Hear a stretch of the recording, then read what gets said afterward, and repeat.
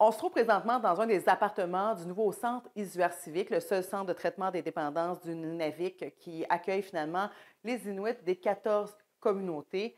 Euh, vous voyez d'ailleurs que le centre surplombe la rivière Kujouak. Partout ici, on ressent l'importance du territoire, de la culture inuite. On parle quand même d'un projet majeur au coût de 43,5 millions de dollars euh, autre particularité ici, quand on dit que c'est un programme unique, c'est que maintenant, les bénéficiaires peuvent être accompagnés de leur famille, de leurs enfants. Par exemple, ici, vous voyez une petite classe.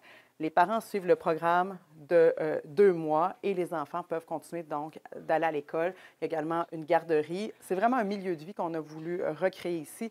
D'ailleurs, là-dessus, je vous laisse entendre le directeur général du Centre Isuère civique. It's healing in itself as here. This is something that we want to, you know, make sure that the clients are feeling. You know, we want to make sure we cut that trauma.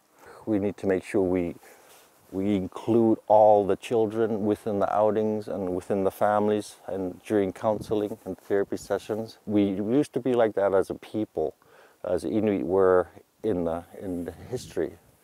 Uh, community-based healing um, and resolving issues within the community. And this is something that we need to get back into.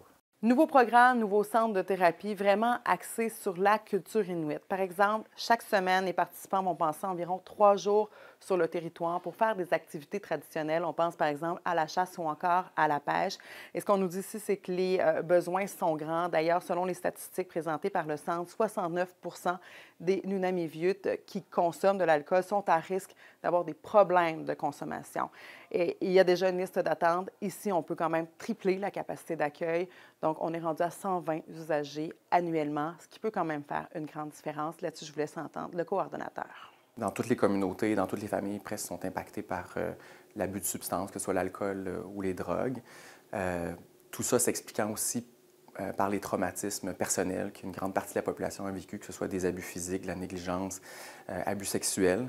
mais il faut aller encore plus loin que ça parce que dans le fond, ça, c'est un symptôme de traumatismes collectifs qui ne sont pas encore guéris.